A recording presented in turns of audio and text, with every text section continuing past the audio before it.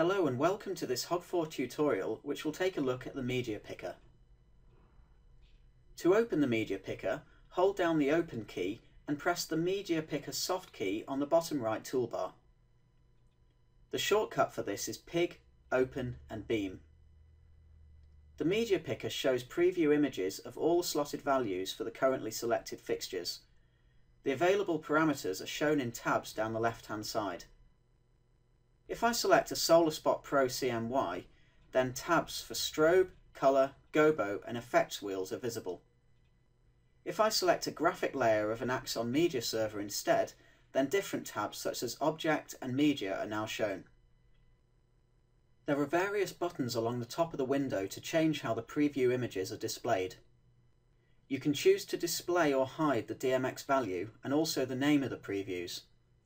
You can also determine whether the previews are arranged by DMX value or by name. There is also a search box to quickly find suitable content. Sometimes different fixture types may share the same slotted values by name. You can specify whether to show all previews of different fixture types or merge them. When merged, a page turn icon will appear. Previews will be merged if the name is the same, even if the preview image is different. Bringing thumbnail previews into the console from CITP enabled or Catalyst media servers is covered separately in a different tutorial. However, if you are working with a show file created prior to version 2.0.0, you will not immediately see preview thumbnails in the media picker. In this case, open the fixture window, select the fixtures you wish to update from the library and press Refresh Media. Since version 2.4.0, it became possible to rename thumbnail previews and also add custom images.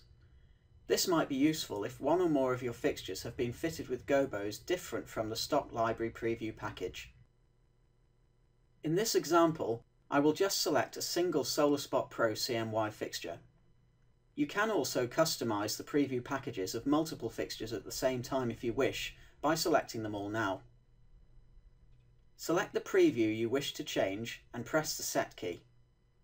Type the new name or press the Change button to browse the thumbnail library on the console or import a custom image from a USB flash drive. The fixture window displays which preview package each fixture is using. Here we can see that SolaSpot 101 is now using the custom preview package. Other fixtures of this same type can also use this custom preview package by selecting the cell, pressing set and selecting the custom preview package from the drop-down menu. The customised preview images and names will now be displayed in the slotted toolbar and direct entry menus in the editors, as well as in the media picker. In the next tutorial, we will look at DMX test and also ArtNet merge. Thank you for watching.